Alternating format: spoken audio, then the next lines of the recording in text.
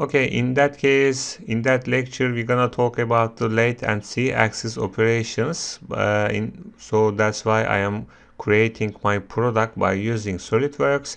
So I'm gonna turn back to SolidWorks. So in that case, I'm gonna click on that one to create my and shapes. So that's my shapes. I'm gonna click on that to make them and horizontal after that I can turn back to dimensional properties to make that distance like I want. Okay after that I'm gonna extrude properties. That's my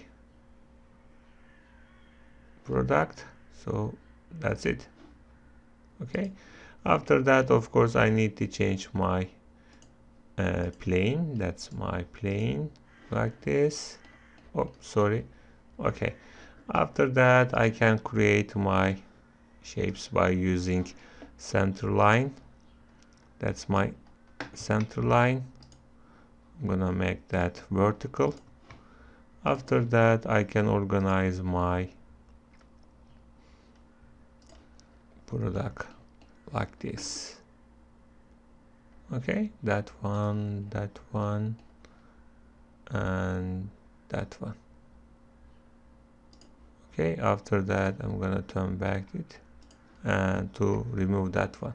Okay I think that's enough. After that I can of course organize my diameter and my length. Can be 120 millimeters.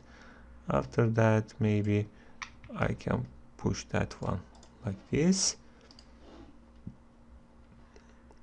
maybe I can organize the just angel like this. Maybe it can be like this. Okay? I think that's enough. After that I can use the rotate my product like this. So okay. That's it. Okay seems pretty cool. Uh, that is the c-axis product. I'm gonna save my product. After that that's my six lathe and c-axis.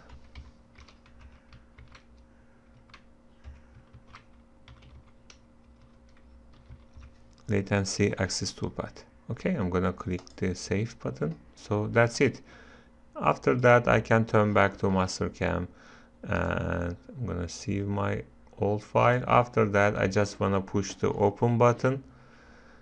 Of course i just want to select my file format. That's my file format. I'm gonna click on that product. Okay that's it. After that i need to use the isometric perspective as you can see that I need to organize my product first firstly so that's why I need to turn back to home. Maybe I need to change my Z plane firstly. I'm gonna turn back to front button. After that I can use the transform and rotate properties.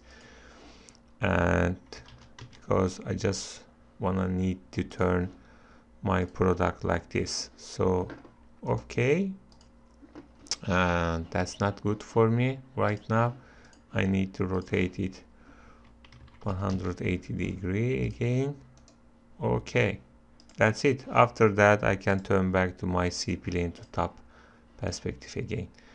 Okay and is that okay or not? Maybe I, I maybe I need to rotate it according to right side but it's not it's not necessary. Okay that's enough I'm gonna push the shift button so I can write on that one that is the 6 and lathe and C axis of course.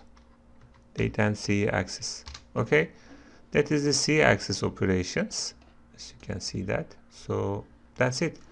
Okay after that I need to turn back to top perspective.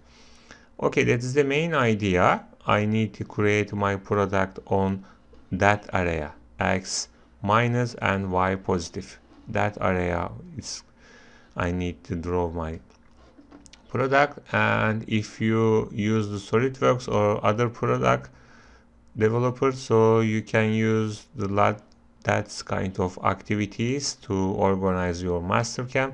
After that I can turn back the wireframe options. In that case I'm gonna use the turn profile I just wanna select that solid body so I'm gonna push the OK button. So that's it. I created my geometry like this. That, that's that's enough for me. Okay? After that of course I need to select my machine. That's my default machine. Okay? And of course if you intend to edit the some line to organize your stock or other stuff. You can keep going on like this.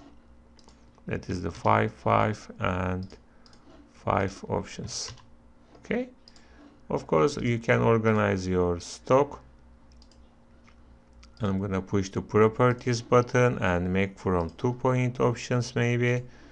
That one and that one. So maybe I can organize my chuck use a make from two point. That's my chuck. Okay that's it. Okay I'm gonna push the lathe operations and roughing of course. I'm gonna use the weight and partial options. That's my entry point and that's my exit point. Okay that's it. Okay that's my tool that's my feed rate that's my plunge feed rate. I intend to use the constant RPM I don't want to use that one but just want to edit okay what's wrong? Okay that's it. I'm gonna push that one that's my reference point X and Z. So that's it. Okay after that, of course, I need to use the finish operations, partial weight options, of course. I think that's enough.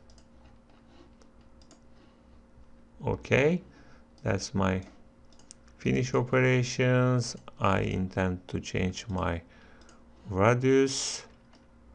That's my feed rate. I intend to use the constant uh, cutting speed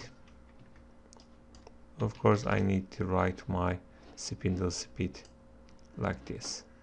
Okay I forgot to organize that one. I think I made a mistake so that's why I am using that one. Okay I intend to use the 200 okay roughing operations. I'm gonna use that one. That can be 200 with that one. So that's it. Okay let's turn back to uh, z-axis operations. Of course in that case I need to create my curve. So I'm gonna use that properties. I'm gonna push the right mouse button lathe operations and c-axis face contour so I just need to select my geometry. After that and that, that part is like 2D milling operations. Need to create my tool. That's my linking operations incremental incremental incremental. That's my depth. After that I need to decide that my depth of cut. That's my leading out operations.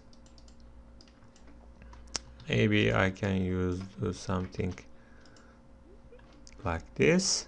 So that's it. Okay. Let's turn back to view properties to see what's happening. Of course I need to change my cut parameters. It can be left side. Okay. That's it. That's our z-axis operations. Okay it's easy. Okay that's the, our roughing and finishing operations and c-axis operations. After that if seems to everything okay for you you just need to push the G1 button to get your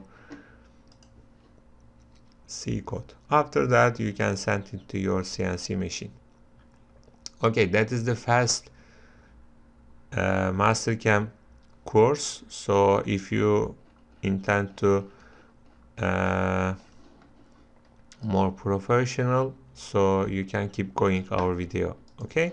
That's that's just for uh, introduction or I mean the to see the what's happening. What can what can you be able what you can be able to do in Mastercam okay? Thank you very much